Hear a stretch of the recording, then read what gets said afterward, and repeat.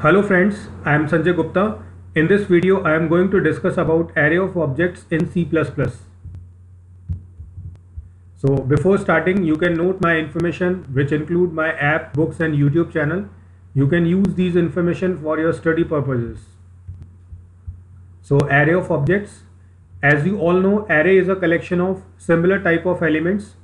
So as we can create array of built-in data types like int or float, similarly C++ allows us to create array of objects. So an array of objects collects a group of objects. Similar to array of int or float, array of objects also stores continuously in memory. So we can access individual elements of array through index number and member of an object through the dot operator. So now I will explain you the concept of array of object with the help of example. So you can see that uh, a class specification is mentioned here. Name of class is person. It has two attributes age and name and it has two methods read and show. Methods declarations are available here. Now the last statement is showing how we can create array of objects.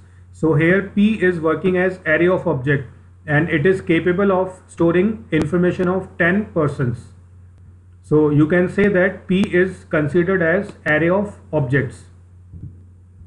So this is the complete uh, program uh, for the example I have shown you. So name of class is person, two attributes age and name are declared. Then first function is read which is responsible for reading name and age from user Second function is display which is responsible for printing name and age on console. So this is the definition of person class. Now after definition of person class you can see main function is defined. So inside main function the statement person p of 10 is known as array of objects. So here p is uh, considered p can be considered as array of object and it can store uh, information of 10 persons. So first uh, the cout statement will uh, display how many persons information you want to enter. So the information will be stored inside size. Then a loop is maintained here which will repeat size times and uh, p of i dot read will read information of a particular student. So initially value of i is 0. So p then i becomes 0 so p0 dot read means inside that array zeroth index uh, person detail will be read.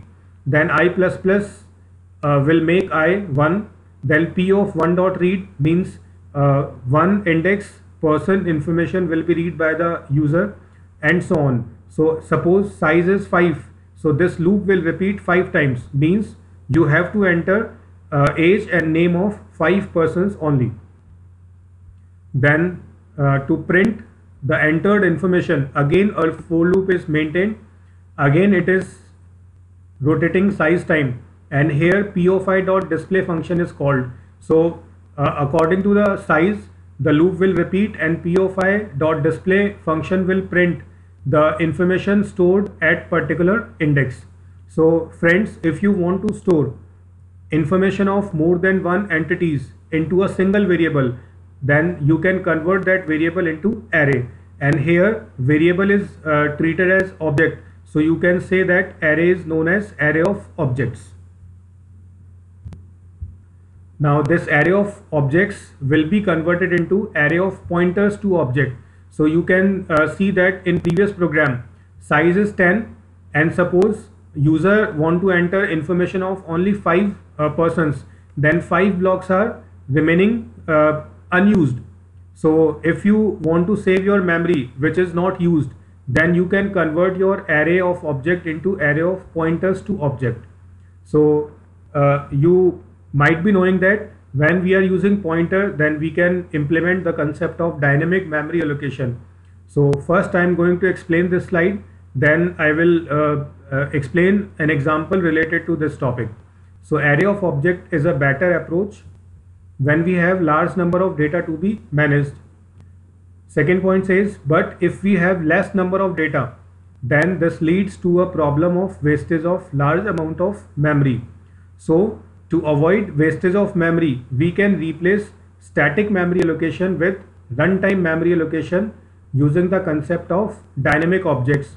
So first you have to understand the concept of dynamic objects. So for this purpose you can uh, watch my video which is based on dynamic object creation. Uh, last point says when large amount of memory is required and the actual size of memory is decided at runtime then dynamic object creation is better approach than static object creation. So in the previous program the static uh, memory allocation was there. Now in uh, in this program I am going to show you how dynamic operations can be performed uh, while declaring array of objects.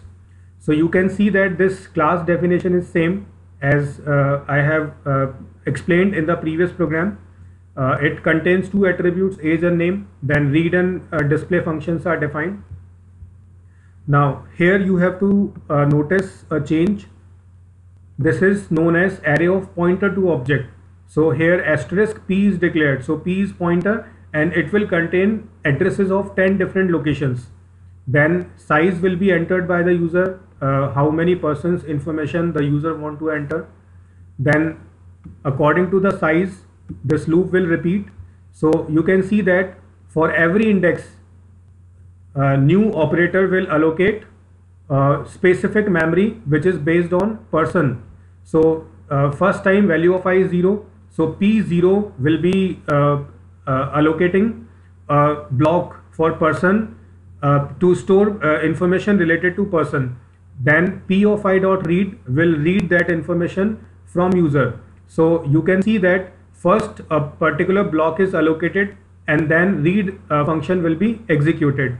So if uh, size uh, value of size variable is 5 then 5 times this memory allocation will be done and 5 times read operation will be uh, performed.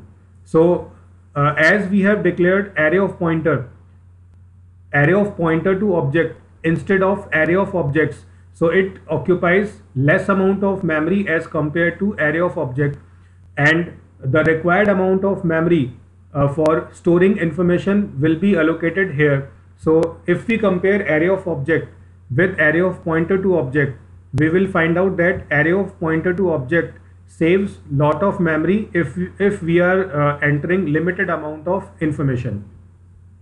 Now with the help of this second loop you can see that uh, display function is called and this loop is repeating size times. So all the information which is entered by the user will display on console.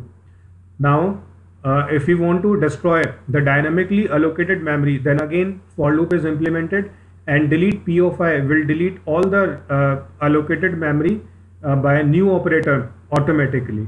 So friends when we want to implement static objects then we can create array of object and if you want to allocate memory at runtime or you want to save your unused memory then you can first declare array of pointer to object and then you can uh, allocate memory for a specific block and uh, then you can store the information also you can destroy that dynamically allocated memory with the help of delete operator so implement these programs on your laptop so that you can understand the concept or you can differentiate between static memory allocation and dynamic memory allocation.